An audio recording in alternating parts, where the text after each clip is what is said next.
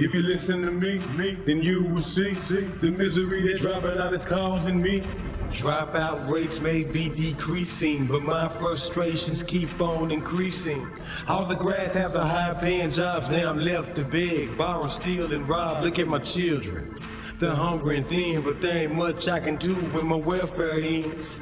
All the grass spending money here and there, while I just sit in a pit of despair. When my kids need help, I fall to my knees, cause I can barely help them with the ABCs. I think it's time to rethink. My drop stats didn't see it back then. Now I'm seeing what matters. If you listen to me, me, then you will see, see the misery that dropping out is causing me. If you listen to me, me, then you will see, see the misery that dropping out is causing me. If you listen to me, me, then you will see, see the misery that dropping out is causing me.